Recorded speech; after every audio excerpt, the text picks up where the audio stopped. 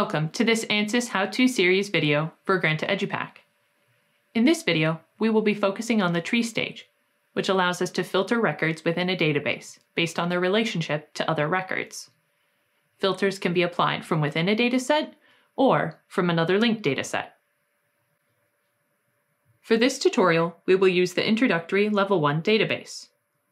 Click the Chart Select function in the main toolbar. In Selection Stages, we have the options to create a chart, set a limit, or filter using a tree stage. For now, we will focus on the tree feature. By clicking on Tree, a pop-up window will appear. At the top of the window, we can edit the title and add notes about the stage. Additional information about this stage and other aspects of the software can be accessed through the online help here and video tutorials here. Next is a drop-down menu, which gives us the choice of data table. By default, the data table is the same as in the selection data section of the selection project panel. The relevant dataset tree is visible in the window. For this example, the material universe tree is displayed.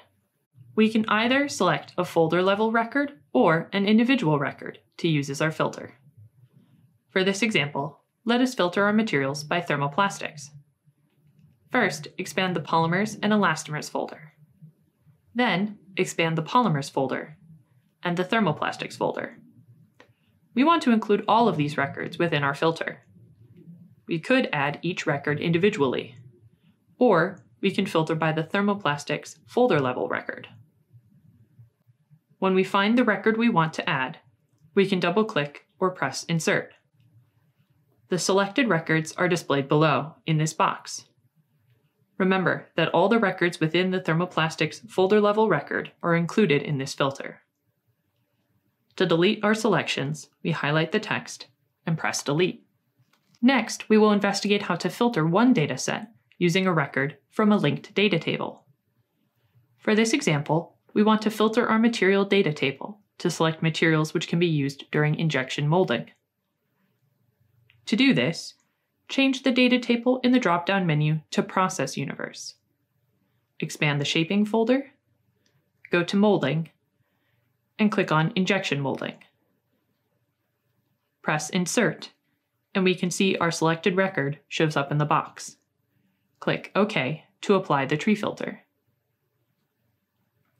We can see in the results stage that 27 materials have passed our selection, which means that 27 of our materials can be injection molded. Additional tree, limit, and chart stages can be applied. The results window will show only the records that have passed all previous stages.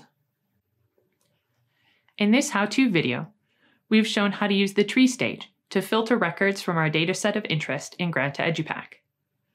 Links to tutorials on how to create and format charts as well as how to use the limit stage to further narrow down material selection projects, can be found in the description below. Links to additional resources for Granta EduPack and other ANSYS products can also be found in the description. Be sure to check out our channel for more ANSYS learning videos, and thank you for watching.